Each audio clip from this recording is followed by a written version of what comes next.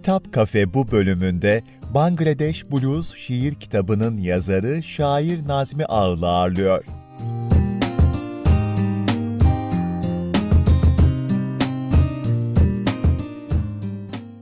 Şiire galiba çok küçükten merak etmeye başladım şiiri. Ben Eskişehir Mihal Gazi ilçesinde doğdum. İki ablam var. Onları eğlendireyim diye yazdığım şiirler vardı. Onu hatırlıyorum. İlkokul 3'te filandım herhalde. Kurabiyem diye bir şiir yazmıştım. Çok komik olduğunu düşünmüşlerdi onlar da. Öyle başladı aslında. Ondan sonra ortaokulda orman haftası için bir şiir yazdım. İşte ilçede dereceye girdim. Sonra Yunus Emre şiir yarışması vardı. İlde dereceye girdim. Tabii bu benim şevkimi artırdı. Ee, bu orman haftası ödülün ödülü e, şeydi. e, bir halk şiirleri kitabı verdiler bana. Çok etkilendim tabii çok hoşuma gitti. İlk defa böyle toplu bir şiir kitabı okuyordum. Ortaokuldaydım o zaman. E, sonra onların tarzında, halk şiiri tarzında şiirler yazmaya başladım. Hatta ortaokulda tuttuğum defterim duruyor e, şu anda. E, daha sonra lisede devam ettim. E, lisede Kuleli Asker Lisesi'nde okudum ben. Orada gene şiirler yazmaya devam ettim. Gene orada da daha çok halk şiiri tarzında yazıyordum fakat işte Orhan Velilerle tanışmıştım. Ee, onların şiirini daha serbest şiir yazmaya başladım. Biraz daha esprili şiirler yazmaya başladım. Garip şiiri tarzında. Öyle devam etti. O sıralarda işte klasik e, işte Fazıl Hüsnü Dağlarca, Faruk Nafiz Çamlıbel, işte kitap Cahit Külebiler onları okuyordum ve onların şiirleri tarzında şiirler yazıyordum. Hatta dikkatimi e, daha sonradan çekti. Ortaokulda yazdığım şiirler inanılmaz e, karamsar ve ciddi şiirlermiş. Böyle işte o sıralar sanırım Faruk Nafiz Çamlıbel tarzında şiirler yazıyordum. E, Çok yaşımın üstünde laflar etmişim o sıralarda.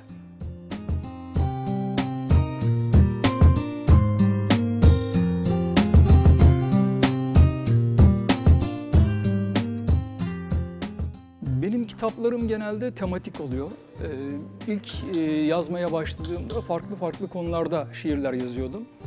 E, fakat e, Mehmet Fuat'a götürüp veriyordum şiirlerimi. O bakıyordu. İşte artı eksi koyuyordu ama bir türlü basmıyordu artı koyduklarına da. İşte neden basmıyorsunuz dedim. Dedi ki sen daha kendi tarzını bulmadın, kendi şiirini bulmadın. O yüzden dedi. E, gerçekten de öyleymiş. Çünkü o tarz yazdığım şiirlere devam etmedim daha sonra. E, ve böyle dağınık olarak yazdığım şiirler daha sonra Boşanma Dosyası adlı kitabımın son bölümünde ayrı yürünmüş başlığı altında yayınlandı.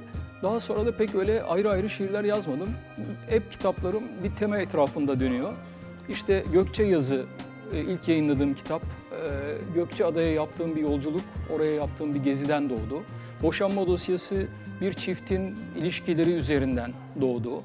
İşte beni böyle değiştiren köydeki yaşantım ve daha sonraki köye dönüş tekrar bunun üzerinden. İşte babalar ve oğullar Umut'un defteri diye oğlumla aramdaki çekişmeler, kavgalar üzerinden. Hep böyle tematik şiirler. Aşk küçücük kırılgan işte aşk üzerine yazdığım sonelerden ve serbest şiirlerden oluşuyor. Hep böyle bir tema etrafında. Öyle yazmayı ve öyle düşünmeyi seviyorum. Bana o şekilde daha ilham verici geliyor. Ayrıca e, tematik bütünlük e, bir ruh halinin okura geçmesi ve kitap bittiğinde bir ruh halinin tasvir edilmesi anlamında daha tamamlayıcı, daha eksiksiz geliyor bana. Bangladeş Blues şiir kitabında Nazmi Ağal, Bangladeş'te yaşadığı gezileri şiirle anlatıyor. Bangladeş Blues çok ilginç bir e, seyahatten doğdu. E, bir gün e, Bangladeş Büyükelçiliği onların dil bayramında dil üzerine konuşma yapmak üzere davet ettiler beni. Gittim konuştum. Çok iyi anlaştık. Beni de çok sevdiler. Böyle 5-10 gün sonra e, konsolos aradı ve dedi ki Bangladeş'e gider misin? Dedim giderim. Benim için hayal bile edilmeyecek bir şeydi.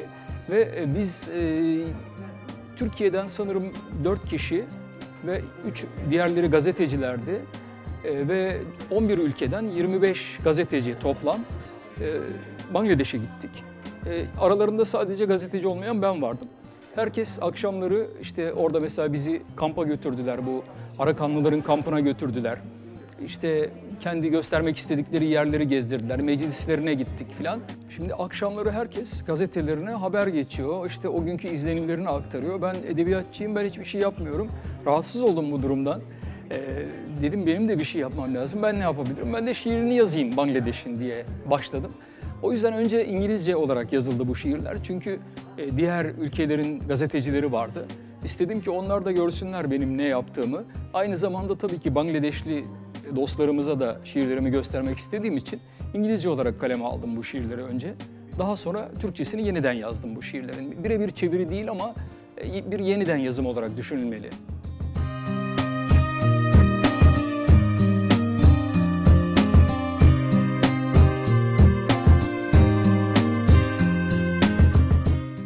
Bangladeş Blues'da e, bir yolculuk teması üzerinden başladı. Daha yola çıkmadan önceki duygularımdan ya da Bangladeş hayalimle başlıyor kitap. Daha sonra yoldaki e, maceralar diyelim, oraların izlenimleri, işte uçak yolculuğu, neler oldu ne bitti, biraz daha böyle esprili bir dille.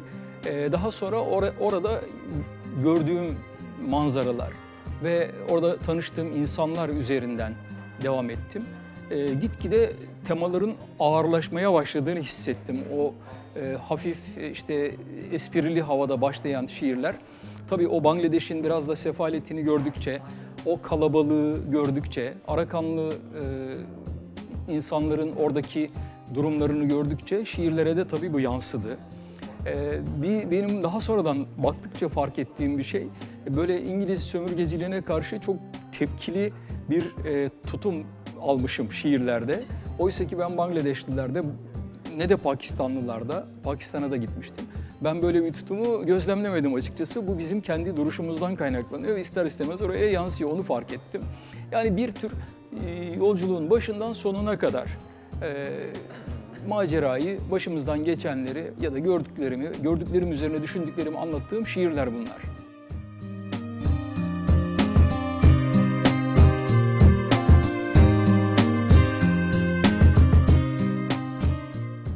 Bangladeş Blues şiir kitabının İngilizce ve Türkçe basımı bir arada Ketebe Yayınları etiketiyle raflardaki yerini aldı.